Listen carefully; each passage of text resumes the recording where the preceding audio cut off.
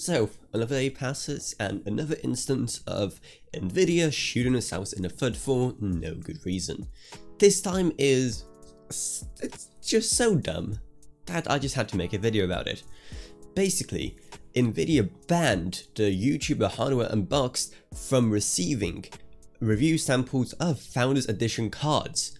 Now, you'd think that with a sentence that harsh, you'd imagine that he completely bashed Nvidia's RTX 3000 cards and threatened to burn down the HQ with just the pure thermal output of an RTX 3090. But no, the reason for this ban is that he focused too much on rasterization rather than ray tracing in his reviews of RTX 3000 cards. Yeah, if that's confusing to you too, good, because it's supposed to be, that means you're normal, congratulations. And this is such a dumb decision from Nvidia that I just don't know where to start. Especially since again, he wasn't like super negative about these cards or anything, he liked them, but once again, he just focused on both rasterization and ray tracing performance because while rasterization is still important, you know, with still only a handful of games actually supporting ray tracing, and an even smaller handful of games that support ray tracing that people actually care about. Now you'd think that they do it because of the threat from AMD and the recent released RX 6000 graphics cards, which had, you know, less than ideal ray tracing performance. So a perfect opportunity for Nvidia to show, look, our cards are so much better at ray tracing than AMD's cards, and you know, that is kind of understandable, but still, banning a guy from reviewing your cards just because of that is just not a way to handle it at all. And what makes it even more confusing is that Nvidia is in such a great position already.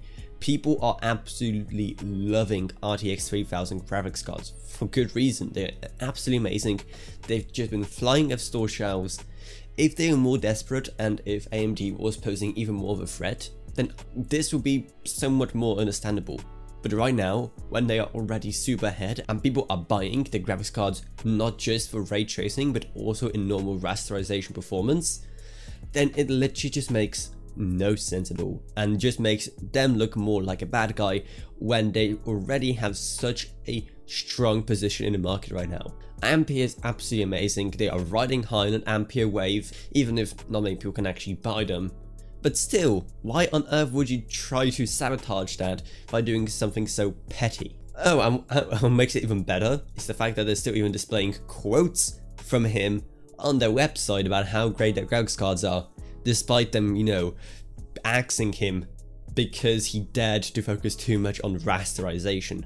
Now, nothing details have been also released about how much of that has been, you know, very clearly written in a contract between them or anything. And if Hardware Unboxed did receive a contract that very clearly stated that he should have this many benchmarks of ray traced games, or like maybe a certain ratio of ray traced to rasterized games, and if he like, you know, knowingly or unknowingly broke the contract, then that is more understandable, even if it is a super dumb and damaging to Nvidia clause in the contract. So I'm definitely not defending Nvidia here saying, you know, oh, he broke the contract or whatever, because it's such such a dumb part of the contract that it honestly that honestly I would be tempted to break myself and if I was in their position, if I'm honest. So yeah, Nvidia really shot themselves in the foot there for no good reason. And I just don't understand what the reasoning behind all of this could have been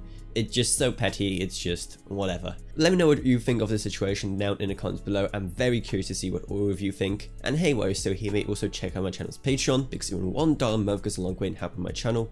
And also, I love to find my Patreons, Gavin Burns, LKB, Naomi Sushii, Tiffany Jacobs, and Wolfie. Thank you all so, so much.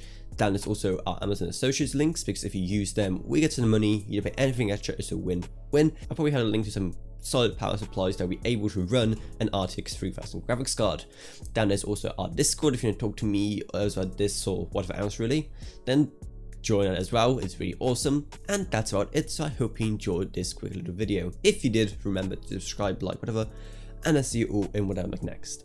Goodbye everyone, goodbye.